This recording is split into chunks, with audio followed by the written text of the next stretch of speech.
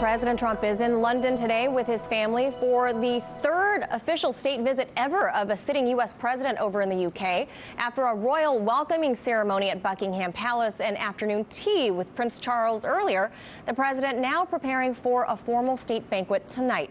But many opposition figures are boycotting the event, and the president set off a Twitter feud as well early this morning with the mayor of London.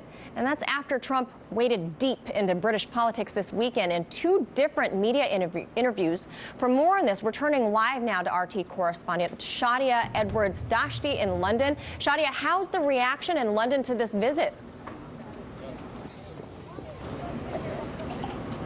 Well, Donald Trump has been welcomed by the Queen here at Buckingham Palace after touching down in the UK just hours ago. But before he even set foot in Britain, he already caused controversy by waging a war of words with London Mayor Sadiq Khan. Sadiq Khan clearly saying no, Britain should not be rolling out the red carpet for Donald Trump. And in response, Donald Trump called him a stone cold loser. Now, Trump's visit, as I say, has come at a controversial time. The Queen was hosting the president earlier today. He then moved on to Westminster Abbey, and tonight he will be returning back to Buckingham Palace for an official state banquet, which has also caused controversy because many senior British politicians are boycotting the event, including Leader of the Opposition Jeremy Corbyn, Liberal Democrat leader Sir Vince Cable, and indeed House of Commons leader John Bercow. Now, of course, we have to say that no state visit of Donald Trump would come without a mass demonstration of the British public. Of course, last year we saw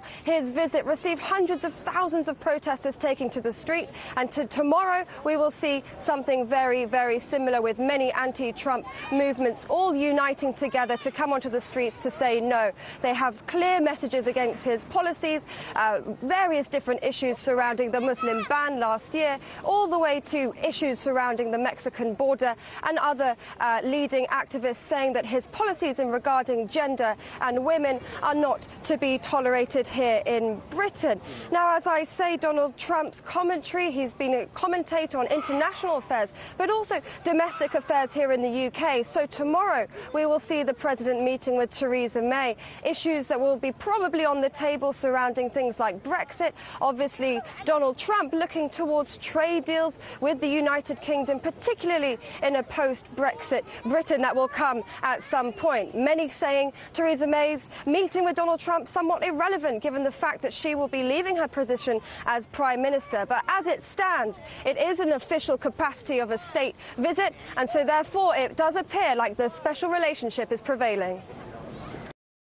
Hey YouTube, thanks for checking out our channel. We hope you enjoyed the video. We have tons of content for you just like this. For more of RT America's one-of-a-kind news and analysis, be sure to subscribe and never stop questioning more.